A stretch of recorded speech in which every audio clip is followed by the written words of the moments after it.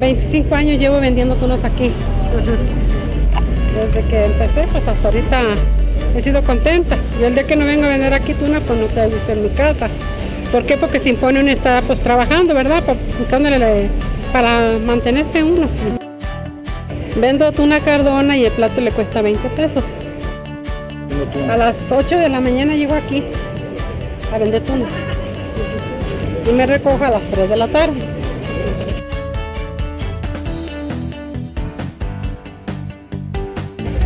Julia Sánchez, orgullosamente tabasquense.